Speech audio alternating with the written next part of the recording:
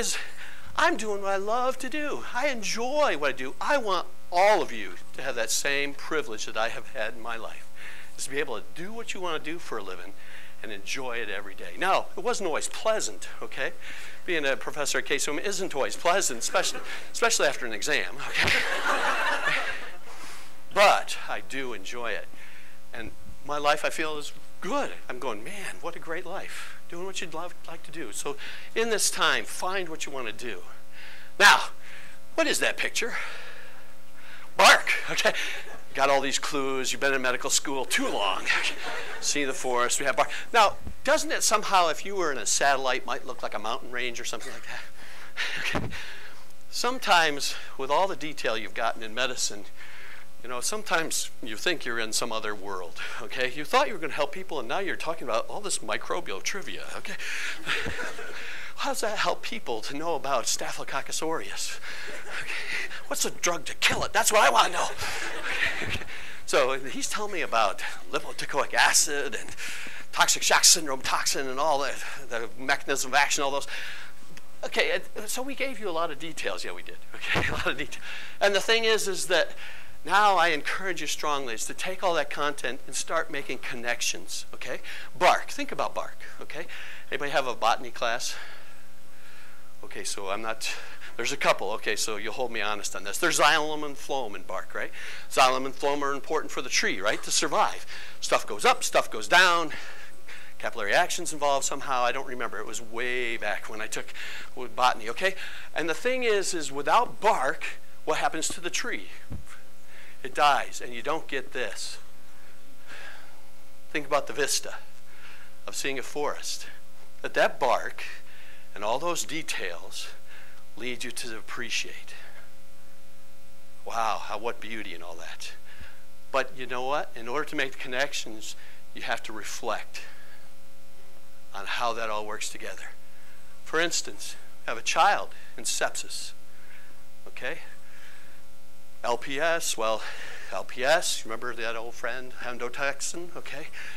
You know, gram-negative sepsis can induce that inflammatory system to go crazy, interleukin 1, peripheral edema, uh, cardiac output at first is good, and then it goes down. Uh, we have shock developing, all these things. You know what? There's all a bunch of physiology involved. Oh uh, yeah, compensated and decompensated, uncompensated shock. We have peripheral pooling. Well, are they clammy or are they cold? Are they warm?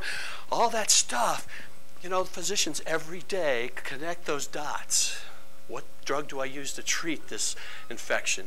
How do, what respiration rate should I give this child? How do I know their kidney function is working appropriately? What can we do to evaluate their cardiac output? Where, how do we even for beginning residents, how do we start the central line? Okay. So we can measure these things. All of the things connect together. Now you're going to be scared again. Don't be too scared, okay? They give you time to make connections, but use this time to make the connections, to connect the dots. Because the deal is, is we have a little kid that's going to die. It may die no matter what you do. But the thing is, is why did you come here? I think most of you came because you wanted to help that little kid. Connecting the dots can help that little kid. So see the forest. See why you did this. Why do Crazy Chamberlain, why does he at the end of graduation count out how many students and calculate the number of people that are helped? Because I want to know that in this tree-filled world that I live in, that somehow I'm accomplishing something better. 400,000 people can be helped every year because I invest in you. Wow, what a privilege to do that. So, make the connections. Now, last thing, I'm almost, almost done, folks. Last thing is to whom much is given, much is required. You all have been given much. How many of you have had to tell people that you love over and over again, I can't be here tonight because I've got to study? How many of you had to do that? Okay? And guess what? What did those people do? Some days they got mad. Some days they said, okay, we see the greater good. This is what we're going to try. How many of you have had parents or significant others in your lives that have sacrificed so that you could get here? Okay, yeah, okay. That's cool. That's good. Okay, now for me, I feel guilty about that. Okay, and I'll tell you how to better respond, okay, than what I did. You have been given much. 2,000 people tried to get those seats that you're sitting in right now. 2,000 in your class. And you have the privilege of sitting in this class, right? And I'm glad because you're a good bunch. I really enjoyed you guys, okay? Uh, there's more people in this class than what I remember. it seems larger than what I remember. Remember, you're adults. I don't care.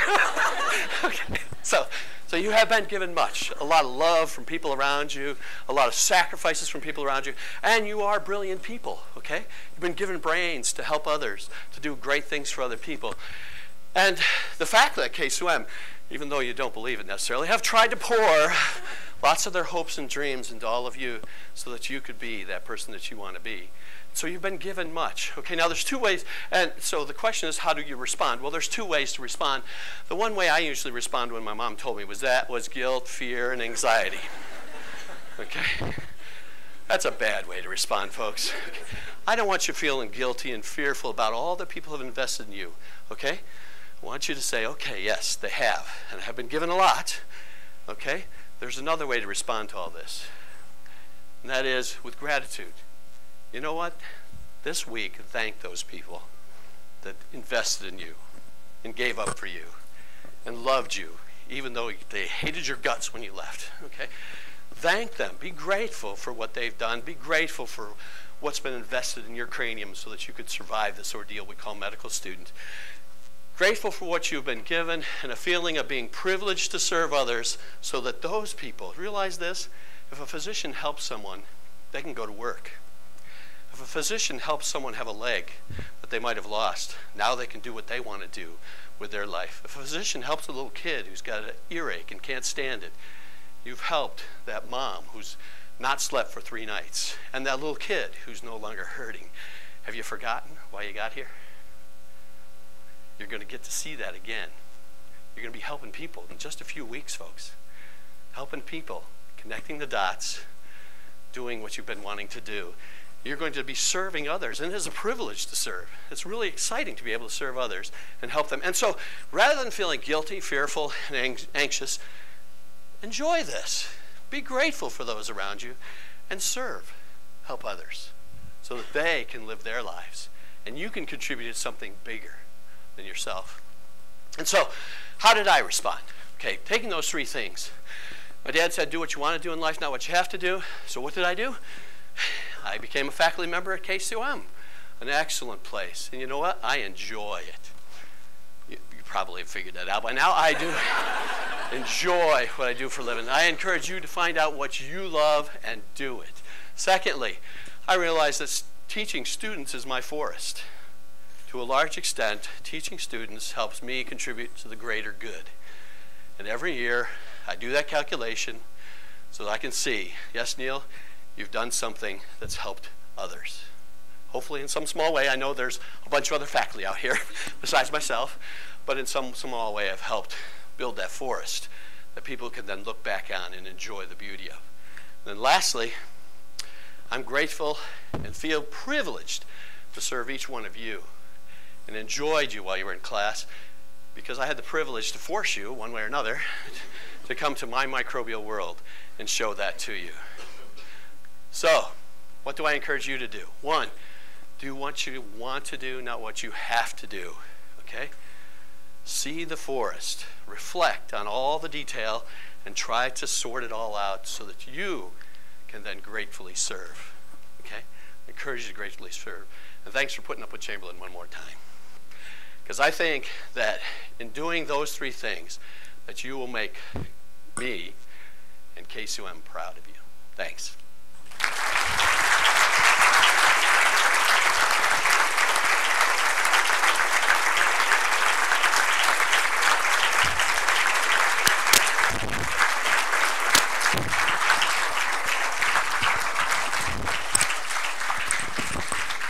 We made a little last lecture thing for Dr. Chamberlain, so thank you very much.